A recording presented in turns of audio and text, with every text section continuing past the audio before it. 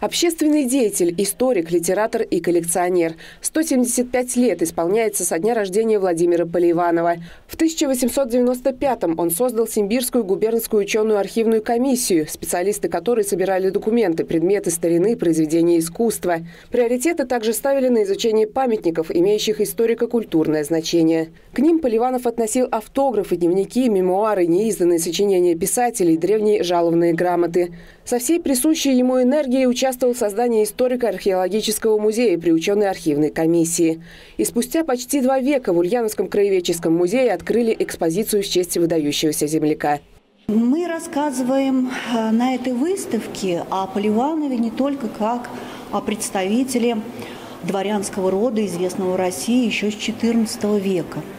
Мы прежде всего хотели рассказать о Владимире Николаевиче как о настоящем патриоте Симбирского края. Благодаря его неуемной энергии, благодаря его разносторонности интересов, благодаря широте его поля деятельности, мы сейчас имеем раритеты – Кокошник расшитый золотой нитью и жемчугом экспонат из русской глубинки. А вот античные кувшины – дары Херсонеса Таврического. Рогатый шлем и кинжал с затейливыми узорами были найдены в Иране, а парадные секиры – в Европе. С 1890 года он по открытым листам, которые получал от императорской археологической комиссии, он проводил исследование одного известного памятника, это Муранского могильника.